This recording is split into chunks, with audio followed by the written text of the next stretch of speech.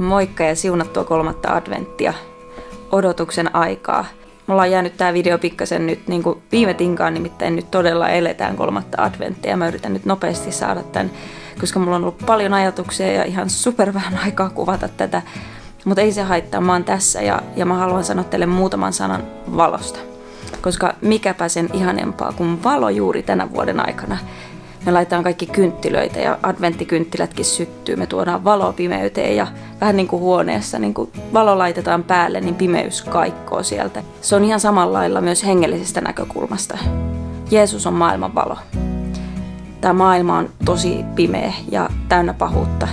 Mä just näin Patmos lähetyssäätiö oli jakanut semmoisen kuvan, kun ne on nyt jakamassa niitä operaatio joululahjapaketteja. Jos et tiedä, mistä on kyse, niin se on siis semmoinen kampanja, jossa ihmiset saavat itse tehdä paketteja, joita viedään sitten Romanian köyhille lapsille. Se on aivan ihastuttava kampanja.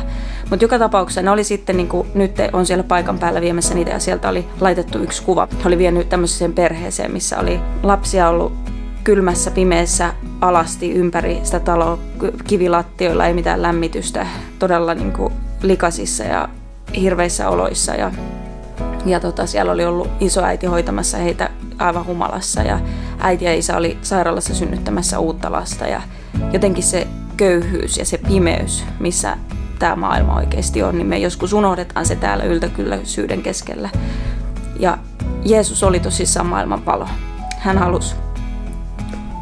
Jeesus toi valon maailmaan, että ihan jokaisella, köyhimmällä, vaikeimmissa olosuhteissa olevilla ihmisillä voisi olla toivo ja tulevaisuus ja ilo. Ja meidät kristityt on kutsuttu olemaan valona. Me ollaan osa Kristusta. Me ollaan Kristuksen ruumis tässä maailmassa. Me ollaan se valo, se konkreettinen valo tässä maailmassa. Mutta mä oikeastaan niin haluan muutaman sanan sanoa siitä, että kun raamatussa toisessa korintilaiskirjassa sanotaan, että, että tutkikaa itsenne tai koetelkaa itsenne ja tutkikaa itseänne, että oletteko te uskossa. Nyt taas kun mä peilaan omaa elämää, koska mä oon elänyt kahdenlaista uskovan elämää. Mä oon elänyt uskovan elämää, jossa mä en koetellut itteeni ja mä en oikeastaan niin kuin kattonut raamatusta, että onks mä edes oikeasti Kristuksen seuraaja, onko se valo, mikä mussa oli sittenkin pimeyttä. Koska Jeesus sanoi niinkin, että, että varokaa, ettei se valo, joka teissä on, niin olekin pimeyttä. Ja mä en jotenkin, niin kuin, mä en elämässäni niin kuin miettinyt edes tuommoista asiaa. Mä niin oletin itsestään selvästi, koska mä olin sanonut joskus, että mä oon uskossa ja mä oon tullut uskoon, niin se on automaattisesti tarkoittaa sitä, että no mä oon nyt uskova ja mä oon pelastettujen joukossa ja sillä ei ole mitään merkitystä, että mä en tee hyvää hedelmää tai niin kuin, mä en edes miettinyt tuommoisia asioita. Saattaa olla, että jollain on vaikka hengellinen elämä ja ei-hengellinen elämä jotenkin niin kuin kaksi erillistä. Että sulla on joku semmoinen checklista, että kun sä teet nämä asiat, niin sit sä oot niin kuin tehnyt ne sun hengelliset asiat ja sit sä voit tehdä niitä sun omia asioita.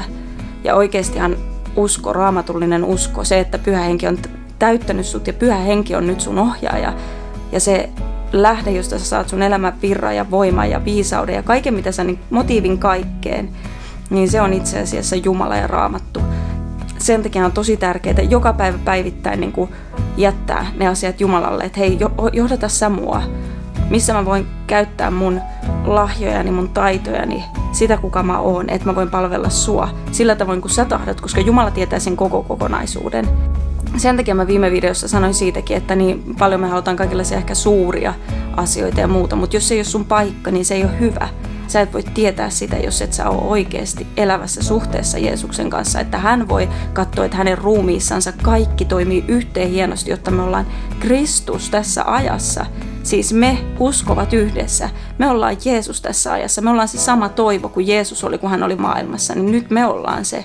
Ja se tekee sen vastuun, että ei me pystytä tähän omissa voimin. Ei me voida auttaa Romanian lapsia, me voida auttaa omaa perhettämme, jos ei me oikeasti olla niin kuin hänen lähellänsä niin, että hän voi kertoa, että mikä on mun paikka ja muuttaa mua hänen kaltaiseksensä askel askeleelta.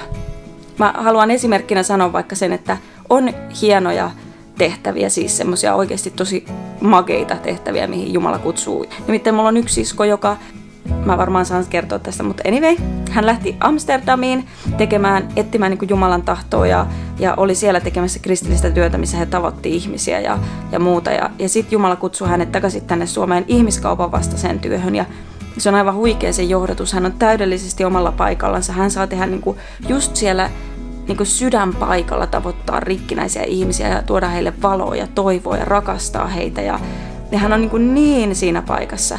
Mutta jos mä nyt yrittäisin tehdä samaa, niin mä olisin aivan väärässä paikassa, koska Jumala kutsui mut kotiin. Kristinusko ei ole mikään tehtävälista, ei ole mitään semmoisia, että, että tee ihan sikana hyvää humaania asioita tai jotain ja, ja sit sä oot kristitty, vaan Kristuksen seuraaja on itse asiassa se ensimmäinen käsky kuitenkin ensin siinä listassa, vaikka ne on yhtä tärkeät, niin ensimmäinen on se, että rakasta Jumalaa kaikesta sielusta, mielestä, sydämestä. Tämä on niin jotenkin, mä puhun tästä koko ajan, mutta kun mä en voi enempää sanoa sitä, että kaikki mitä sä teet, niin pitäisi olla kiitosta Jumalalle. Mutta tänä adventin aikana niin mä haluan muistuttaa teitä siitä, että te olette maailman valo. Minä olen maailman valo. Me yhdessä ollaan Kristus tässä ajassa. Ja, ja silloin se muuttaa sen meidän vastuun. Tässä maailmassa on pelkkää pimeyttä ja sitten ollaan me, jotka ollaan saatu pyhä henki. Meidän pitää päivittäin koetella meidän usko, juurruttaa se takaisin Kristuksen. Nyt syttyy kolmas kynttilä, niin kirkas kutsuva, oi kohta meille kuningas jo syntyy tallissa.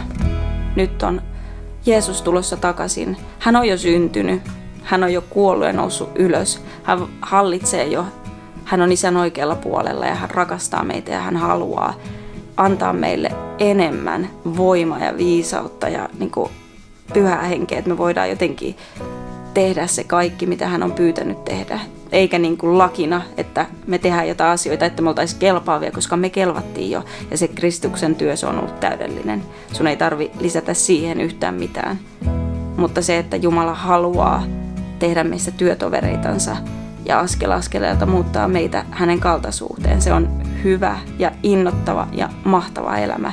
Ja mä oikeasti haastan sua etsimään enemmän taas häntä, ottamaan sitä rukousaikaa joka päivään, pienikin hetki, etsimään niin kuin hänen kasvojansa ja, ja sen jälkeen tekemään sen, mitä ikinä hän pyytää sulle, koska se näyttää niin erilaiselta jokaisen meidän elämässä.